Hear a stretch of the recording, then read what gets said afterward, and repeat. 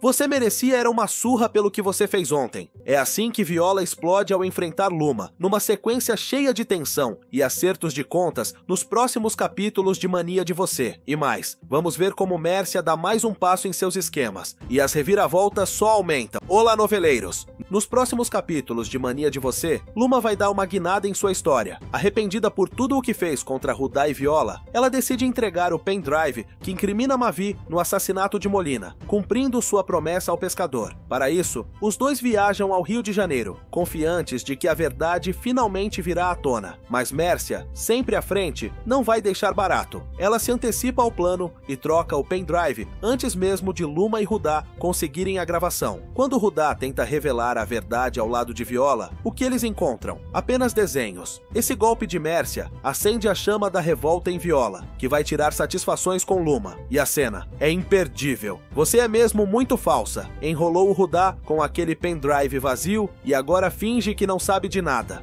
Component Placement dispara Viola, cheia de razão. Atordoada, Luma tenta entender o que aconteceu, mas Viola não dá trégua. Não vem bancar a desentendida que ninguém aqui vai mais cair no seu teatro. Só te dou um aviso, garota. Deixa a gente em paz. Vai infernizar a vida de outros, vai. E enquanto o clima pega fogo, Cida entra na história. Ela reconhece Mércia como a mulher que apareceu na sua casa no dia em que o pendrive foi retirado. A madame inventou um prêmio falso, aproveitou um descuido e fez a troca. Agora Mércia ainda debocha de Luma. Só peguei de volta algo que era meu. A situação vai ficando cada vez mais complicada, porque Mércia ouviu tudo o que Luma e Rudá combinaram na capela do resort. Agora, ela segue um passo à frente, determinada a manter seus segredos bem guardados. Noveleiros, o que vocês acharam da reviravolta de Mércia? E será que Luma conseguirá se redimir de verdade? Não esqueça de deixar o seu gostei e se inscrever no canal para acompanhar essa história cheia de emoções. Até a próxima!